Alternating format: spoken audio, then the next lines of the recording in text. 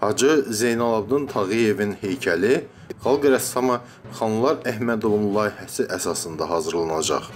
Münsiflər heyətinin qərarına əsasən Mədəniyyət Nazirliyi, Bakı şəhər İcra Hakimiyyəti və Heydər Əliyev Fondunun Hacı Zeynalabdin Tağıyevin heykəlinin hazırlanması ilə bağlı keçirdiyi açıq heykəltaraşlıq müsabiqəsinə təqdim olunan 26 layihə arasından Xanlar Əhmədovun layihəsi qalib seçilib.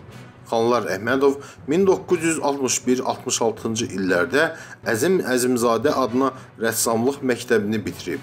1966-72-ci illərdə Astrovski adına Daşkənd Teatr İncəsənəti İnstitutunda təhsil alıb. 1972-75-ci illərdə SSR-nin Rəssamlıq Akademiyasının aspirantı olub. 1975-ci ildə SSR Rəssamlar İttifaqının üzvü olub. 2002-ci ildə əməkdar rəssam fəxri adına, 2006-cı ildə isə Azərbaycan təsviri incəsənətinin inkişafındakı xidmətlərinə görə xalq rəssamı fəxri adına layiq görülüb. Dəzgah və monumental heykəltaraşlıq sahəsində çalışır.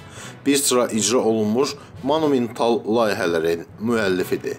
Əsərləri Almaniya, Fransa, Polşa, Rusiya, Türkiyə və digər ölkələrdə nümayiş etdirilib müxtəlif muzey və şəxsi kolleksiyalarda saxlanılır.